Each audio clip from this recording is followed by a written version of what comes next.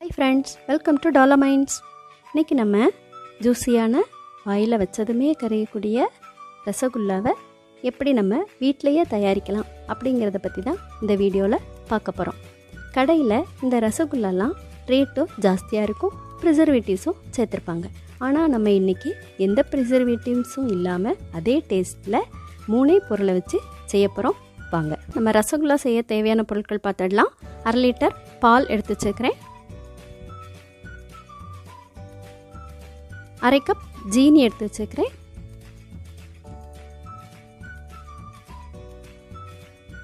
ஒரு spoon lemon juice எடுத்து வச்சுருக்கிறேன். ரெண்டு கிளாஸ் தண்ணி எடுத்து வச்சுருக்கிறேன். இப்போ நம்ம பாலை அடுப்பில் வச்சு சூடாக்கிக்கலாம். இப்போ பால் சூடாயிட்டுருக்குது. இப்போ இந்த பால் நல்லா கொதிச்சு வரணும். பால் கொதிச்சிருச்சு. இப்போ இந்த பால் வந்து நல்லா பொங்கி மேலே வரும்போது நம்ம எடுத்து வச்சுருக்கிற லெமன் ஜூஸை சேர்க்க போகிறோம் இப்போ பொங்கி வருது. இப்போ நம்ம லெமன் ஜூஸை ஆட் பண்ணிக்கலாம்.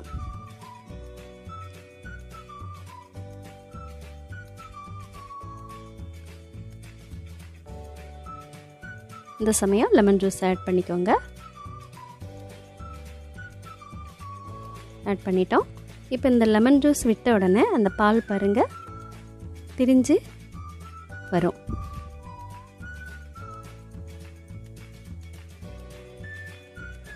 பால் திரிஞ்சிருச்சு. கொதிச்சோடனே அடுப்பு ஆஃப் பண்ணிடுங்க இப்போ பால் நல்லா திரிஞ்சிரும். இப்போ இதை நம்ம வடிகட்டி எடுத்துக்க போகிறோம் அதுக்கு ஒரு பாத்திரத்தில் இதே போல். அதுக்கு மேலே ஏதாவது ஒரு பாத்திரத்தை எடுத்து அதுக்கு மேலே ஒரு இதேமாரி ஜல்லடை கிடச்சுன்னா வைங்க அல்லது தேவையில்லை. அதுக்கு மேலே காட்டன் துணியை விரிச்சுக்கோங்க. இப்போ இதில் நம்ம அந்த காய்ச்சி வச்சுருக்கிற பாலை ஊற்றிக்கலாம் நம்மளுக்கு இந்த திரிஞ்ச பால் மட்டும்தான் தேவை. இப்போ இதில் லெமன் ஜூஸ் விட்டுருக்கிறதுனால நம்மளுக்கு புளிப்பு சுவை இருக்கும். அது போகிறதுக்காக வேண்டி நம்ம ஒரு கப் தண்ணி விட்டு அதை நல்லா அலசி எடுத்துக்கிறோம். இப்போ நமக்கு அதில் உள்ள புளிப்பு சுவை போயிடுச்சு. நல்லா ஸ்பான்சியாக இருக்குது பாருங்கள் இப்போ இதை நம்ம அதில் உள்ள தண்ணி எல்லாத்தையும் நல்லா பிழிஞ்சு எடுத்துடுறோம். இதுதான் நமக்கு கடையில் கிடைக்கிற பன்னீர். பன்னீருக்கு ப்ரிப்பரேஷனும் இதுதான். இப்போ நம்ம இந்த பன்னீரை பாருங்கள் எவ்வளவு சாஃப்டான பன்னீர் கிடச்சிருக்குது. இப்போ இந்த பன்னீரை நம்ம நல்ல சாஃப்டாக பசஞ்சிக்க போகிறோம் இதில் எந்த கட்டியுமே இல்லாமல் இந்த பூரி மாவுக்கு பிசைகிற மாதிரி நல்லா சாஃப்டாக பிசைஞ்சு எடுத்துக்கோங்க. நம்ம எவ்வளவுக்கு எவ்வளவு நல்ல தேய்ச்சி பிசைகிறோமோ அந்த அளவுக்கு நம்மளோட ரசகுல்லாஸ் ரொம்ப சாஃப்டாக இருக்கும். பாருங்கள் நல்லா தேய்ச்சி.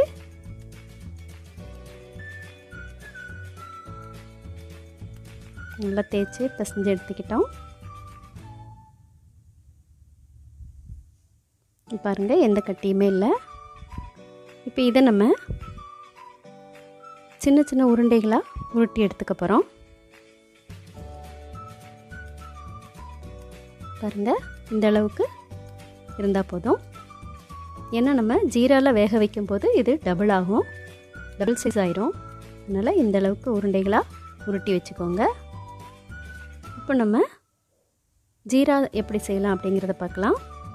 அடுப்பில் ஒரு பாத்திரத்தை வச்சு அதில் ரெண்டு கிளாஸ் தண்ணியை ஊற்றிக்கோங்க அடுப்பை ஆன் பண்ணி விட்டுக்கோங்க. இதில் நம்ம எடுத்து வச்சுருக்கிற ஜீனியை சேர்த்துக்கோங்க.